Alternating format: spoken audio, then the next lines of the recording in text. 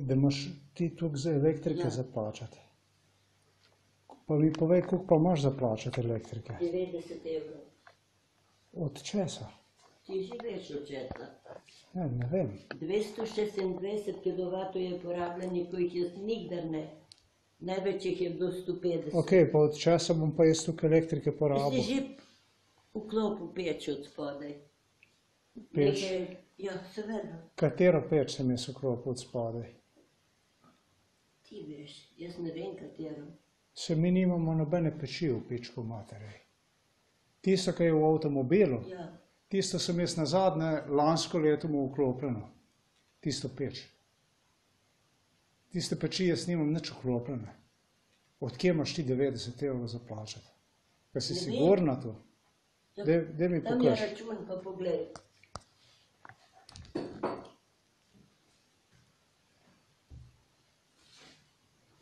Koliko mesecev pa nisi elektrike plačala? Koliko pa ponavadi plačaš na mesec?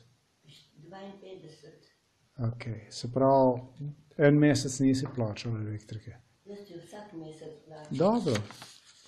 Če si kuk, uh, se tle, tle piše 87 evrov, tule je. Okuše. Tle piše uh, 87, 79, Tu 97. je 88 evrov. Je, To, ampak je to, a je to za elektriko? Za elektriko. Ok, Tele so pa porabljeni kilovati. ok, bomo pogledali, kako je s tem. Tukaj piše 37,84 piše. Tu je za obdobje od 1.11. do 30.11. piše. 226 kW piše tamle. Cena je pa 37,84 evra. Se pravi, zato sem vprašal, za koliko mesecev nisi plačala, ker si pa precej agresivno name stopila zdaj. Čisto kot ti bom povedal. In tu brez tiste tvoje proteze in tako naprej. To je bila ne, ne, neprijetna stvar zdaj.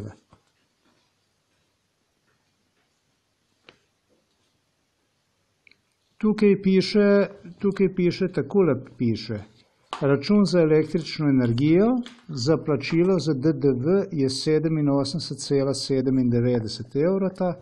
Znesek računa za merilno mesto Krka 1 je 37,84. Osnova za DDV stopnja 22% je 8 evrov, vsega skupaj znese. Oktober.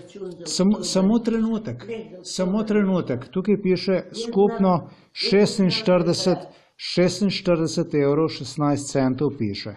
Ok? 46, 16 centov. Na dan 6.12.2023 ste nam iz preteklega obdobja dolžni že še 41 evrov 81 centov. Tukaj ti piše, pa z rdečim piše gor. Ja? Tako da ne se, ne se name tako znašati, ker ti nisem jaz naredil ničesar. Pravzaprav je manj kot tisto, kar praviš, že ti v povprečju porabiš. Ne, tam je. Ne, tam je, tam piše vse. Nimam kaj tukaj gledati. Da bom pa jaz poklicala. Zakaj, če jim nisi plačala za Kaj preteklo? nisem plačala, jaz bom vsak mesec plačala. Ne deri se name. Ja bom. Ja, pa si se Pa tam kaj le... mi boš rek, rekel, da nisem plačala, če plačujem redno. Mama, eh, tam piše, da nisi plačala. Čist nič drugega ne piše. Kdaj si pa plačala? Vsak mesec. Kako, na kakšen način, kam greš Na plačati? banko. Ker tu se lahko vsakmu zgodi, da naredi. Ne, ne, Se pravi, sem jaz idiot ali kaj sem zdaj, ker jaz ne vem. Jaz sem kriv, česa zdaj. Tu me zanima. Česa sem jaz zdaj kriv? Ker si se name znesla in zdaj, kaj sem jaz zdaj kriv, kaj sem jaz zdaj naredil. Ti, ki si plačala to, si je lahko zgodilo, da si plačala na narobe račun. Oziroma tam na tisti poslovalnici, da so ga dali denar nakazali na narobe račun, kar je pa laž, zato ker lažeš. Ti bom jaz povedal, koga je. Vse, vse, kar je bilo, zdaj, kar si naredila, je bilo tisto, kar si rekla, med tisto kurčevo MK Ultra, da boš naredila. Pa še tako si naredila, da nisi protezo v ustih imela, ker namenoma delaš itak. Spomni se malo.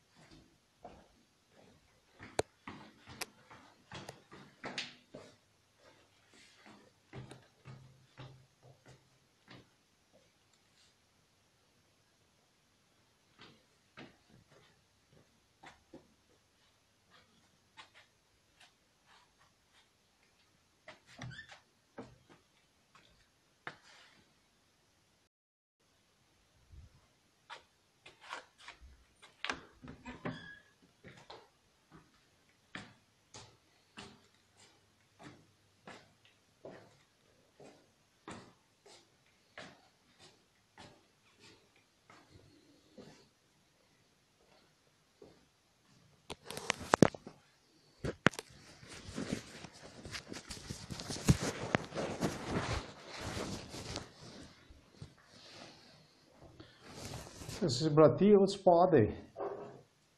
Zdaj, Jaz sem od spodaj, kje si pa bila? v kurilnici. V korilnici, Ja, ker ko si šla, si pustila vrata tako odprta, kot so tule.